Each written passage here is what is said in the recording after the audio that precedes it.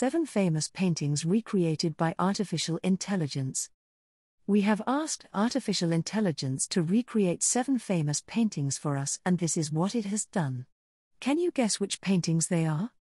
This are the paintings 1 La Gioconda, by Leonardo da Vinci. 2 The Starry Night, by Vincent van Gogh.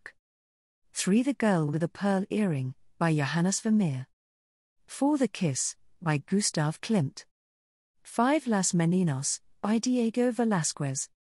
6 The Birth of Venus, by Sandro Botticelli.